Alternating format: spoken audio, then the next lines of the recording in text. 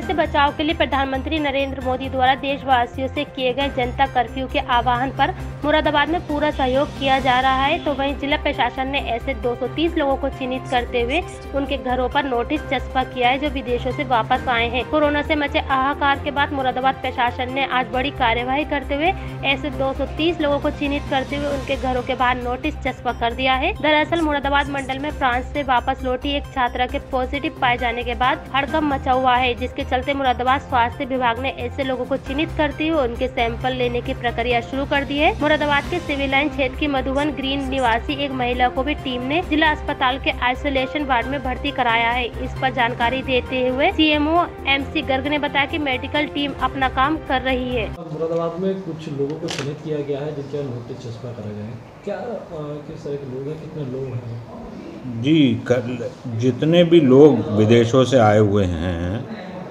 और मुरादाबाद में रह रहे हैं और उनको होम क्वारंटाइन में रखा गया है।